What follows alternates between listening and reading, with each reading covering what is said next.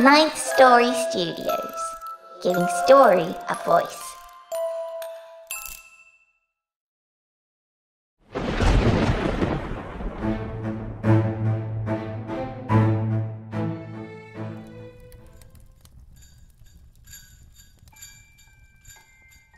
The Puppy by Briana Morgan.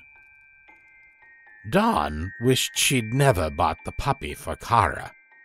Christmas morning, when she'd tied a bow around his neck and set him under the tree, something nagged at the back of her mind.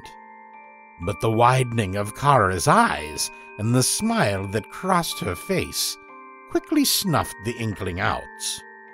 Dawn couldn't give her daughter much, but she felt like a good mom for once. The next day, the puppy was massive. It had ballooned overnight and towered over Dawn and Kara, easily eight feet tall. With big paws and even bigger teeth. Big enough to snap Dawn's spine.